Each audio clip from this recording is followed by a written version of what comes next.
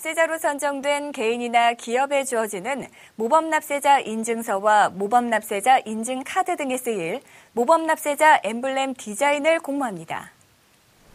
국세청은 성실 납세에 대한 사회적 분위기를 조성하기 위해 모범납세자 엠블렘을 대국민 공모를 통해 제정하기로 했습니다. 이번 공모전은 국민 누구나 참여가 가능하며 참가 주제는 모범 납세자가 애국자라는 이미지를 형상화할 수 있는 엠블렘 디자인으로 참가자 중 우수자에게는 소정의 상금이 지급됩니다. 참가 기간은 오는 5월 31일까지이고 우편이나 온라인을 통해 접수할 수 있으며 자세한 내용은 국세청 홈페이지의 공지사항을 참고하시길 바랍니다.